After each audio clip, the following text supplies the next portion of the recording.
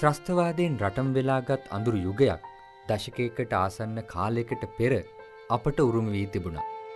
ඒ අතරින් ඇතැම් සිදුවීම් අපේ සිත්වලින් තවමත් පහව ගොස් නම් නැහැ.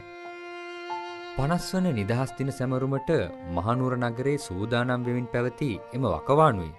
උතුම් වාමාශ්‍රී දංෂ්ටාධාතුන් වහන්සේ වැඩ සිටින ශ්‍රී දළදාමාලිකාව ත්‍රස්තවාදීන්ගේ ඉලක්කයක් බවට පත් වූයේ වර්ෂය එක්දස් නවසි අනුවටේ ජනවාරි විසිපස් වන දින උදෑසනයි.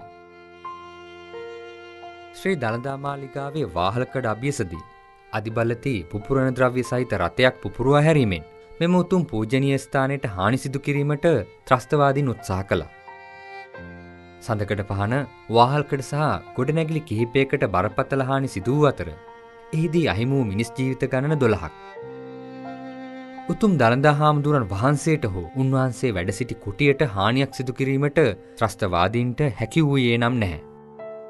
අතීතයේ වූ එම ඛේදනීය සිදුවීම යලි යලිත් මතකයට නැගුණත් උතුම් දළදා හාමුදුරුවන්ගේ පින්මහිමෙන් ශ්‍රී දළදා මාලිගා පරිශ්‍රය යලි පිළිසකර කර ගැනීමට හැකිවීම අප සැමගේ පහන් සංවේගයට හේතු වූ බව නොඅනුමානයි.